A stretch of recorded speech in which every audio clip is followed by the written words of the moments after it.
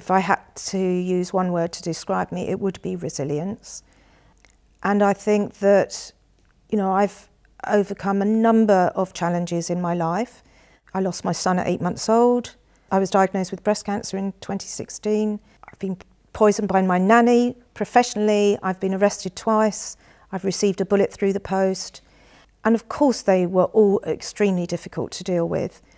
Um, but I think, you know, if you can find some positivity in those type of experiences, you know, and it's very difficult. It's very difficult. But unless you can say there has to be something positive, something helpful about this experience, um, I, I just don't think you could survive it.